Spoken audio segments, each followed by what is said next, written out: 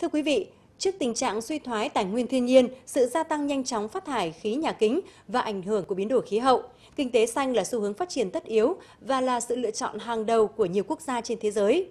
Việt Nam cũng không phải là ngoại lệ. Phát huy thế mạnh về biển, những mô hình kinh tế xanh hướng đến các xã đảo ven bờ cũng đã được nghiên cứu nhằm sớm có những cách tiếp cận để phát triển phù hợp. KC0809 giai đoạn 16-20 là mã số của đề tài nghiên cứu khoa học cấp nhà nước mang tên Nghiên cứu xây dựng mô hình kinh tế xanh cho một số xã đảo tiêu biểu ven bờ Việt Nam. Đây là đề tài thuộc chương trình Nghiên cứu khoa học và công nghệ phục vụ bảo vệ môi trường và phòng tránh thiên tai do Viện Tài nguyên và Môi trường biển, Viện Hàn lâm Khoa học và Công nghệ Việt Nam chủ trì. Thực tế, khái niệm kinh tế xanh đã có từ lâu, nhưng việc áp dụng loại hình này tại các xã đảo Việt Nam hiện còn khá mới mẻ. Nước ta là đường bờ biển rất dài và có rất nhiều cái đảo ven biển. À, nhưng mà vấn đề là phát triển kinh tế xanh ừ, cho các cái vùng xã đảo này ờ, thực ra cũng ờ, chưa được quan tâm. À, và Bộ Khoa học Công nghệ cũng như là nhà nước muốn thông qua à, một số những cái đề tài góp phần giải quyết cái vấn đề tăng trưởng xanh ừ, cho các cái xã đảo. Ba xã đảo được đề tài lựa chọn là Nhân Châu của tỉnh Bình Định, Nam Du của tỉnh Kiên Giang và xã đảo Việt Hải của thành phố Hải Phòng.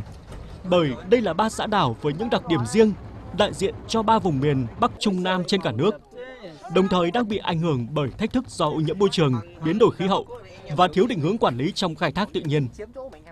Tại Việt Hải, nhóm đề tài đã tiến hành quá trình khảo sát tổng hợp đợt 1 nhằm kiểm kê và lượng giá nguồn vốn tự nhiên tại xã đảo.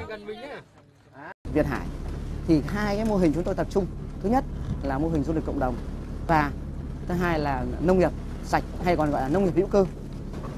Hai cái hướng mô hình đấy cũng đang được khuyến khích phát triển ở ba cái xã đảo thuộc huyện đảo Cát Hải trong đó có Việt Hải.